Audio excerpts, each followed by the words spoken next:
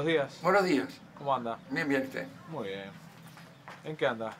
Yo, y bueno, director, fui director del liceo acá un par de años y soy docente desde el año 2001 acá, en, en este liceo. Liceo pequeño, un liceo de opción, es un liceo donde tenemos gente de, de la zona, un liceo que eh, surgió por necesidades justamente de la zona de tener un liceo en las cercanías, porque los muchachos si no tienen que desplazarse a Colón. Y terminó siendo un liceo de opción, porque viene mucha gente de Colón, de Lesica y de, barrios, de otros barrios cercanos, porque es un liceo que le brinda una, una, un ambiente familiar, con, de contención a los chiquilines, que no es posible en un macro liceo. Precisamente su pequeñez es la, es la gran fortaleza la, la, de poderlos atender individualmente y personalmente, los chiquilines que salen de la escuela que está pegada y de la otra escuela de la zona, fundamentalmente. Pero viene gente eh, hasta de, bastante lejos, de Valle de Ordóñez, de otros barrios, que, de Paso de la Arena, precisamente buscando esa opción, la opción de contención, de cercanía de los docentes y de, trabajo este, más más específico y más, más este, cuerpo a cuerpo con los chiquilines. Mm. Porque eso es necesario en la educación de hoy. ¿Esa cosmovisión rural, digamos, está impregnada en los, en los, en los chicos que vienen al liceo? O... Sí, porque tenemos una buena cantidad de chicos que vienen, de, que son acá de la zona. Y, y precisamente, eh, aún la gente que viene de Colón, no hay que olvidarse de Colón y de Lesica, no hay que olvidarse que es, eh, son suburbios ciudadanos donde todavía se ve eh, el pasto y se ve la, la, calle da a un predio que tiene abierto y no tiene el ahogo ciudadano del, del apartamento, del asfalto duro y puro que es este. Entonces son zonas que están netamente vinculadas al, al hecho rural y a la vida rural. Es decir, acá a nadie, no es necesario hablar de los manzanos y de los durazneros, es decir, son cosas que son habituales para los muchachos y, este, y ese contacto con la naturaleza es, es, es, cotidiano. ¿Cómo ve el Montevideo rural hoy? Es muy caído, muy caído porque la granja es una, es una de las actividades rurales eh, de, de, actividad muy intensiva, es decir, pequeños predios, muy trabajados, eh, con mucha participación de la, de la propia gente, todo pequeñas empresas y todo eh, chacra en granja familiar. Este, pero la verdad es que el mercado es pequeño, eh, los precios son acotados porque es decir, estamos entre los insumos muy caros y la, venta de los productos que no se pueden vender a los precios que cuesta producir porque la gente no tiene el poder adquisitivo eh, suficiente como para adquirir los productos a los precios que se deberían vender. Y además con unas costumbres sociales, sobre todo en Montevideo, de bajo consumo de frutas y verduras que habría que revertir. Hay que educar sobre eso, hay que trabajar sobre, eh, eh, el, aumento del consumo y además trabajar donde, cosa que se hace muchos años que se viene insistiendo, que es la posibilidad de salir, de, producir a la potencialidad que se puede producir, que en realidad no es. Usted va al mercado y el sobrante es muy grande siempre, no se ha, no se ha crecido en, en, en normas de calidad. Si bien los productores acá son productores de primera línea, de primera línea. ¿Y con relación al, al, servicio que presta el gobierno de Montevideo a la zona? Bueno, eh, el gobierno de Montevideo padece de todos los, de todos los problemas que tienen los gobiernos en el Uruguay. Es decir, eh, un poco burocratizado, un poco este, ajeno a veces a las necesidades por falta de, distribución de rubros y de, entiendo yo, de demasiado crecido en los aspectos de, demasiada burocracia. Este, lo cual hace que, la, falta de recursos termine en calles en mal estado, en, muchas calles de balastro y de, y de gravilla poco pavimentadas, y en, en centros educativos que no, que no responden, ¿verdad? Es decir, que, que tienen precariedades. Este, y cuando uno demanda, bueno, sí, siempre los recursos son escasos. y ta, no, es, no estamos en cierto que no es tampoco zona de, de- de desastre, pero sí de necesidades bastante importantes. Bueno, muy bien, muy amable. ¿Algo más que quisiera agregar? No, no, eh, sí, hay mucho para agregar. Mucho es, es atender estas zonas periféricas, porque estas zonas periféricas son un poco el pulmón de Montevideo, que Montevideo no conoce.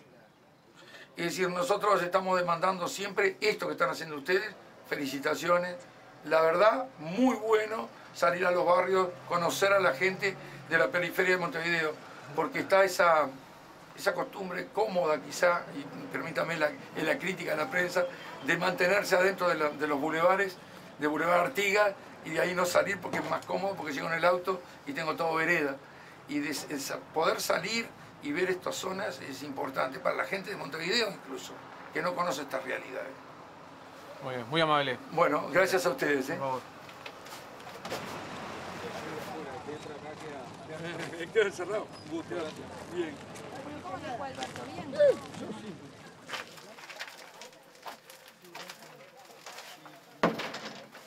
Buenos días. Muy buenas. ¿Cómo le va? Muy bien, ¿usted?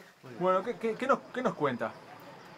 Eh, bueno, que... ¿Usted es vecino acá en la zona? No, no, por supuesto, sí soy vecino de hace muchos años. No, no tengo una memoria exacta de la fecha, pero hace ya más de 50 años que soy vecino. Y bueno, es una- lo que le puedo decir es que es una zona buenísima, excelente zona para vivir, una, una zona muy tranquila, ha cambiado un poquito ahora porque todas las cosas cambian y, en fin, pero normalmente diría que es una zona muy buena para vivir y me siento contento acá. Usted tengo entendido que no, no trabaja la tierra, por No, no, más ahora que por mi edad ya estoy jubilado.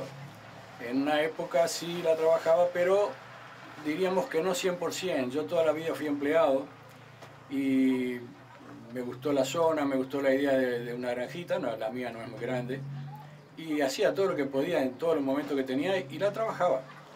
Pero no me puedo considerar un granjero típico de dedicarse de lleno toda su vida a la granja, ¿verdad? Y actualmente, Héctor, eh, ¿a qué, qué cosas hace? ¿Qué se dedica estando jubilado? Bueno, actualmente, como todo jubilado, eh, no es mucho, pero trato de no estar inactivo, por supuesto, ¿no? Claro, eso está muy bien. No, es importante. Eh, donde vivo, que ya le digo que es una, una, chaca, una chacra pequeña, dos hectáreas, no puedo hacer mucho, aunque quisiera, porque además en este momento la tengo como, como autocultivo, como, y entonces no es una cosa que yo la pueda plantar de punta a punta. Aún así trato de, de mantenerla limpia y todo eso, pero lo único que hago es este, plantar pequeñas cosas de consumo diario nada más. Héctor, ¿y, y- y alguna otra zona de interés que haya desarrollado, por ejemplo, después que se jubiló? Bueno, ahora en este momento me, me, me ponen un aprieto porque... No, no, tranquilo, no, no es la... No, no, lo entiendo, pero algo específico que, que, que valga la pena destacar en este momento, no. Yo lo que hago es tratar de tener una vida tranquila, me ocupo de, desde luego de mi casa, de la, de la parte de granjita que... Y claro, por supuesto que tengo amigos, por supuesto que salgo, estoy en movimiento. eh, participo de todo menos de un empleo, ¿verdad?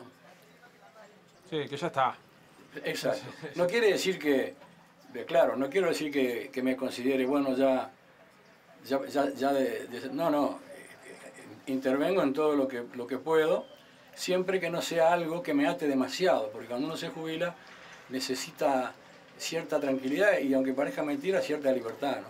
Me han ofrecido cosas, por ejemplo, ser miembro de, de un club de leones, con que tengo amigos y muchas veces me invitan y voy a cenar y a comer, pero no podría hacerlo, porque si, me- si lo acepto me tendría que dedicar de lleno.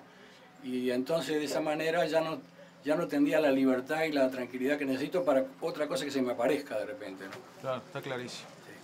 Bueno, Héctor, muchas gracias. ¿Algo que quiera agregar? No, no, no, nada, les agradezco mucho de- de dejarme, haberme dejado expresar y, y un gusto. Por favor, igualmente. Yo la vista.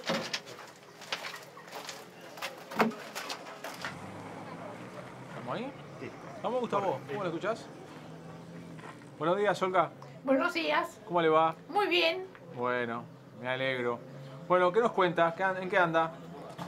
En Honda. ¿Anda en Honda? ¡Qué bueno! no, es un dicho. Eh, sí, sí, sí, lo sé. Pero estuvo bien, estuvo divertido.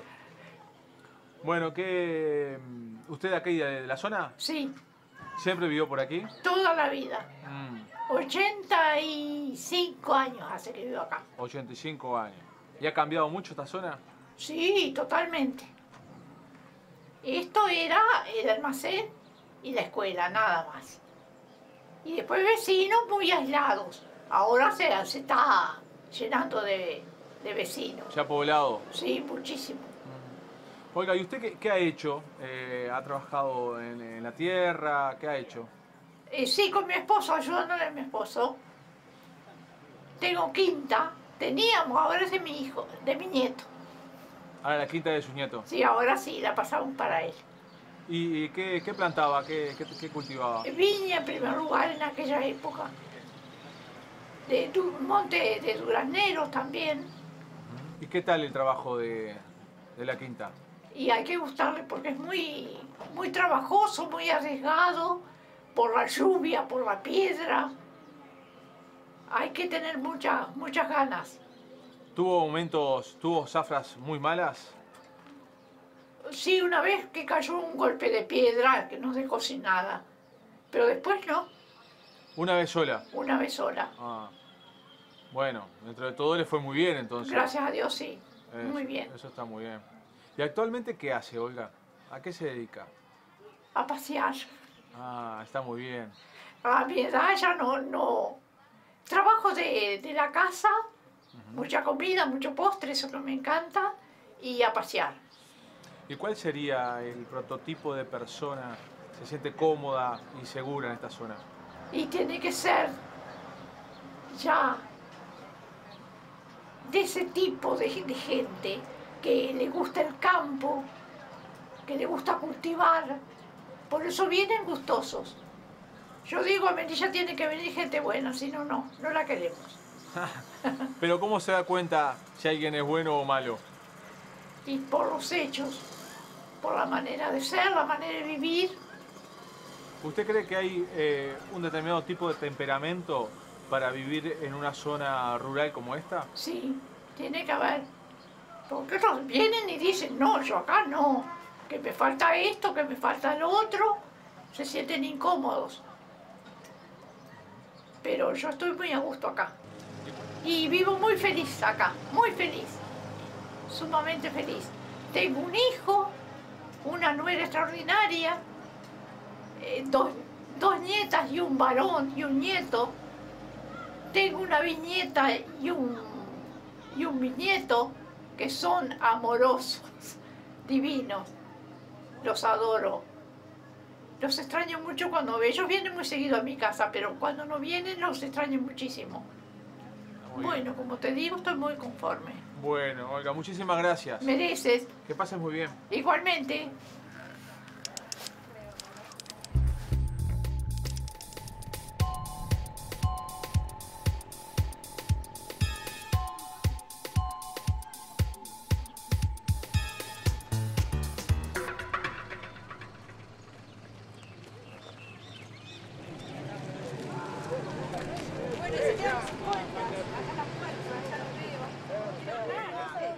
Buen día, Geraldine, ¿cómo le va? Buenos días, ¿qué tal? Muy bien, ¿usted? Bienvenidos a casa. Bueno, muchas gracias. ¿Cómo anda? Bien, ¿Trabajando? trabajando como todos los días. Muy bien. Cuéntenos, ¿cuá- ¿cuánto tiempo hace que, que son dueños de este almacén? Bueno, el almacén data de 1920. El fundador fue mi bisabuelo, que era vasco-francés, y se afincó en la zona allá por... Este, tomamos como punto de partida 1920. En principio funcionó a unas pocas cuadras de acá, eh, luego se instala acá, compra esta esquina y edifica este mismo edificio. Y bueno, hoy en día yo soy este, eh, la cuarta generación. Está mi mamá y, y nosotros. Eh, ¿Y siempre fue un almacén de ramos generales? Siempre fue de ramos generales. Eh, hubo despacho de nafta, se hacía el vino de la casa, teníamos bodega, había peluquería, este, boliche de copas y almacén. Y este, ellos siempre fueron de vanguardia, siempre innovaban. Eh, en principio, bueno, por supuesto cuando él se instala no, estaba la luz eléctrica en Melilla, no estaban los caminos bituminizados, él salía en, carro, en carreta a buscar la mercadería a Paso Molino, este, y de ahí se fue armando. Bueno, formó su familia, del cual el mayor era mi abuelo, Juan Pedro, y este, después, como te cuento, cuando llegó la luz, eh, empezaron a innovar con todo lo que eran electrodomésticos. Las primeras heladeras, las primeras este, cocinas, eh, radios, todo ese tipo de cosas ellos traían como novedad. Se hacían demostraciones de las casas del centro de Montevideo, traían electrodomésticos. Mi padre me contaba, por ejemplo, la novedad que fue cuando llegó la licuadora a Melilla. Hicieron una demostración de lo que era una licuadora. También cuando llegó la Coca-Cola Uruguay, estoy nombrando una marca, pero bueno, ya, ya, ya le vamos a, cobrar la propaganda. Este, y se instalaba el camión y convidaba a todo el mundo para que conociera lo que era la bebida. Eh, bueno, eh, también se hacían espectáculos, se, había una glorieta acá afuera y venían payadores, venían cantores de tango, eh, incluso vinieron a actuar este, artistas argentinos también. y bueno, el número uno eh, amigo de la casa, que era Julio Sosa, que paraba mucho acá en esta esquina porque tenía una novia este, que vivía muy cerquita de acá y acostumbraba a venir. Y el tío de mi papá, el hermano menor de abuelo, tocaba el bandoneón y bueno, se armaban cantaroles. Ah, bueno, era más allá, mucho más que un almacén, ¿no? Sí, sí, era un punto de encuentro. Ah. Había, era otra melilla, había mucha, mucha quinta con mucho empleado este, se trabajaba muy bien en la parte sobre todo del boliche, mesa de billar, este, trabajaban todos los días del año, la única fecha que se cerraba era el primero de mayo. Se iban, y en ese día en particular se iban toda una camionada a festejar al Parador Tajes. Muy bien. Y bueno, ¿y hoy? ¿Qué, y hoy, es el almacén? Hoy el almacén se ha ayornado este, porque el mismo público te pide eh, otras cosas, ¿verdad? Entonces le dimos una refrescada, digamos, por decirlo de alguna forma, se amplió un poquito la parte que, ocupaba el sector de copas del boliche, que ya no funcionaba como tal, se amplió, se puso una estantería central, que es lo único este, moderno, digamos. Después está todo tal cual, eh, las estanterías de la pared, el techo, el piso, es todo de época. Bueno, Geraldine, muchas gracias. No, gracias a ustedes por venir, encantada. ¿Eh? Doble de León. Ah, Igualito, gracias a ustedes.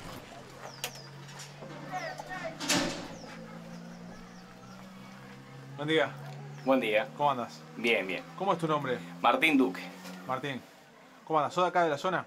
Eh, hace más de 15 años que estoy radicado en la zona. No soy nativo de acá. Ah, ¿A qué te dedicas, Martín? Hoy en día trabajo en un establecimiento rural y a su vez eh, como vendedor de, las raciones de la insignia en la campera.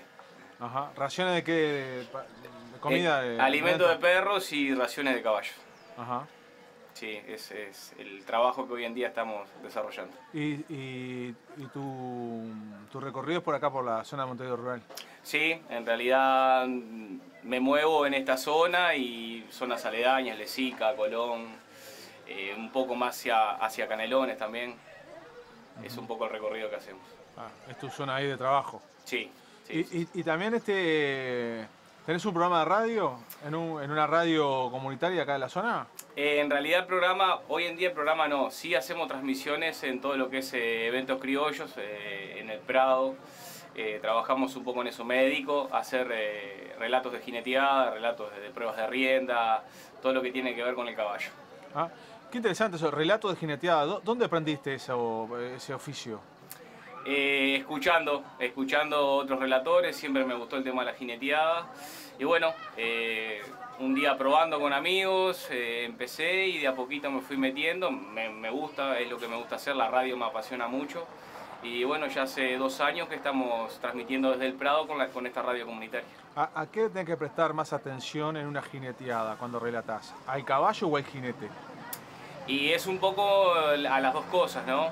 Eh, como yo siempre digo, el relatar lo que está pasando eh, en un ruedo es un poco tener la visión del entorno y a su vez, eh, obviamente, contarle al que está del otro lado de, la radio lo que, lo, que está, lo que está pasando, cómo se está desempeñando el jinete y qué es lo que está haciendo el potro también, ¿no? ¿Quién de los dos tiene más épica? Y el jinete. El jinete yo creo que es el, que se luce mucho más, tanto ya sea por si, si cae como si, si saca buena jineteada aguantando esos segundos arriba, ¿no? ¿Y vos por quién vas? ¿Por quién sentís más empatía? Ah, el jinete, el jinete. El jinete, digo. El jinete porque yo creo que, yo siempre digo, es, la jineteada es la lucha entre el jinete y un animal de 400, 500 kilos. Que siempre, creo que muchas veces decimos que lleva la de perder el jinete porque hay que estar ahí arriba y aguantarle los, los corcovos al caballo, ¿no? Y cuando el jinete logra eh, cumplir la jineteada, creo que es muy reconfortante para ellos y para nosotros que somos los que estamos contando lo que está pasando. ¿Y, al caballo no se, no, se le, no se le maltrata un poco? No, no. Eh, no lo veo como maltrato. Eh, simplemente hay caballos, por ejemplo, una jineteada tanto en el recado oriental son 12 segundos, en la categoría pelo son 8. Es muy poquito el tiempo. Él lo que hace es defenderse de algo que siente arriba de él. No es que se lo maltrate. ¿Y en, las, y en, las, en las previas antes de iniciar, no? No, no, no, para nada, al contrario. Un caballo de jineteada muchas veces mejor cuidado que un caballo normal de, de una casa que alguien tenga. Digo, se, los cuida, se los alimenta, se les da un techo. Eh, hay mucho cuidado en eso. La, gente de campo tiene mucho cuidado en el animal, digo, el caballo para ellos es todo.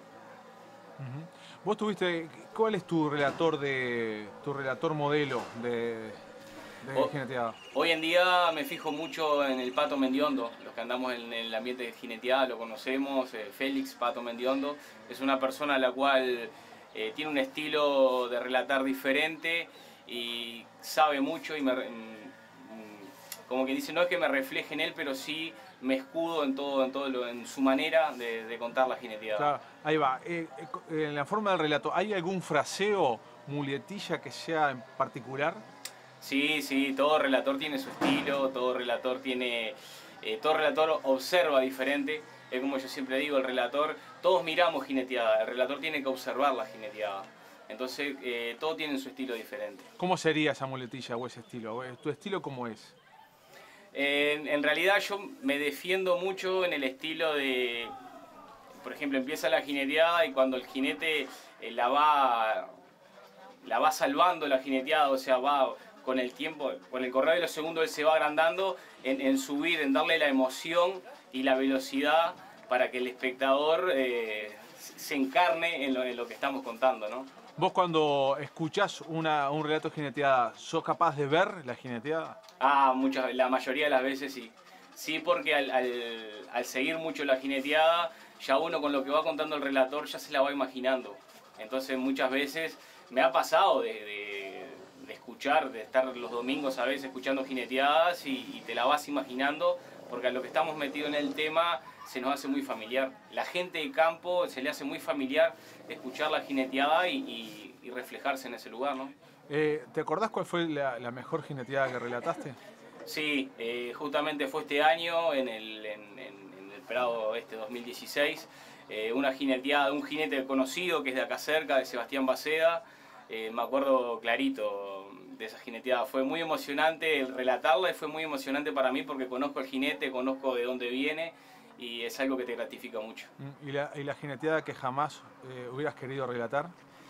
La jineteada que jamás hubiera querido relatar fue en un ruedo acá cerca, en Rincón de Colorado, eh, un jinete conocido también y bueno, un caballo que se le vuelca, que se le cae enterito arriba de él, se lesiona y bueno, estuvo un tiempo sin, sin estar en los ruedos. Y bueno, esos son, esos son los momentos que a veces el relator tiene que sacar desde otros lugares, eh, sacar herramientas para llevar la transmisión adelante y salir un poco de, ese momento feo, ¿no? Amargo. Mm. Bueno, Martín, muchas gracias. ¿Quieres agregar algo? No, eh, nada más, simplemente agradecerles por estar acá en la zona, eh, llevarle a toda la audiencia de ustedes lo que es un poco Melilla que bueno, que estamos muy contentos de lo que es la zona hoy en día. Buenísimo, muchas gracias. Gracias a ustedes.